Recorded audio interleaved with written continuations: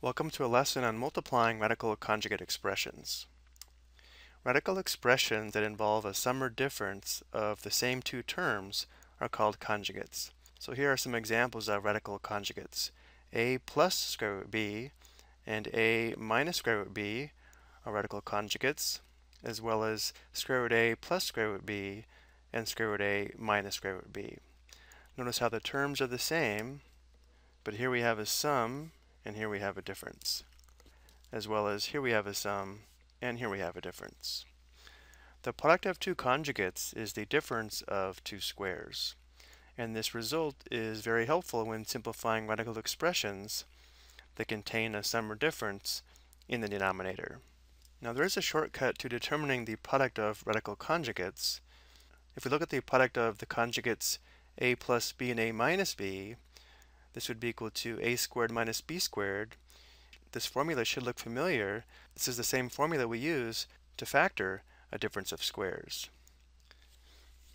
I'm not a real big fan of the shortcut. Notice how if we multiply these two binomials like we normally would, we would have four products, one, two, three, four, which would give us a squared minus ab plus ab minus b squared. And notice how the two middle terms are opposites, and therefore this sum is 0. So this simplifies nicely to a squared minus b squared. So as long as we know how to multiply two binomials, we don't have to memorize this formula or take the shortcut. But of course it is available if you want to use it. Let's look at an example with radical conjugates. Notice here we have 2 plus square root 3 times 2 minus square root 3. So again, using the technique to multiply two binomials, we'd have four products. 2 times 2 is 4. 2 times negative square root 3 would be minus 2 square root 3. Then we'd have plus square root 3 times 2, or plus 2 square root 3. And then we'd have square root 3 times negative square root 3, which would be minus square root 9. Once again, notice how the two middle terms are opposites, so this sums to 0 the square root of 9 is equal to 3, so this simplifies to 4 minus 3, which equals 1. But if we did use the shortcut, notice that a would be 2, b would be square root 3, so we'd have 2 squared minus square root 3 squared, which would still give us 4 minus 3, which equals 1. Let's take a look at a couple more examples. Notice how we do have the product of two conjugates, Let's first multiply this out like we normally would. Again, we'd have four products. One, two, three, four. So we have 6 times 6, that's 36. 6 times negative square root 15, that's minus 6 square root 15. And then we have square root 15 times 6, so that's plus 6 square root 15. And then we have square root 15 times negative square root 15, that would be minus the square root of 15 times 15. Of course, this does simplify. This is a perfect square.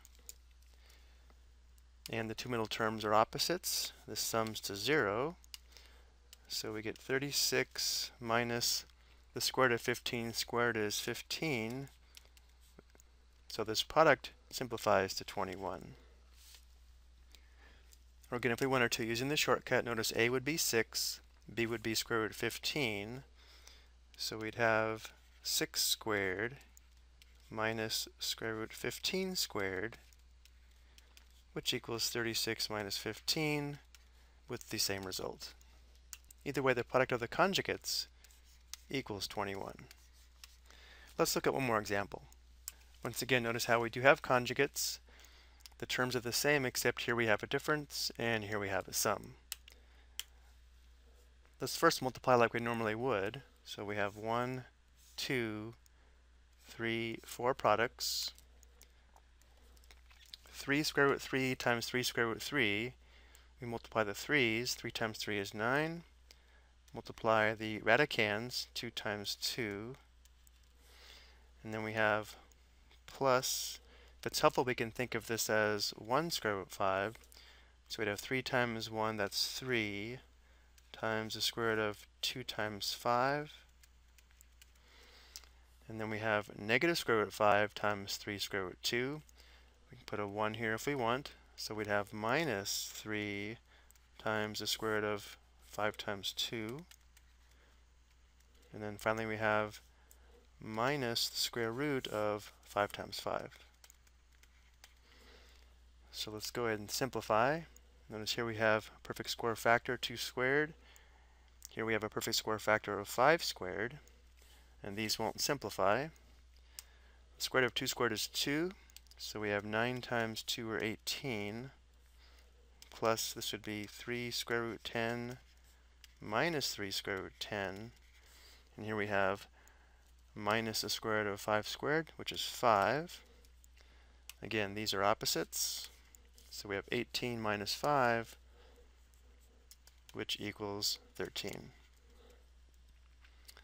Using the shortcut where a would be 3 square root 3 and b would be square root 5, we would have 3 square root 2 squared minus square root 5 squared equals, well here to square 3 square root 3, we square the 3, that's 9.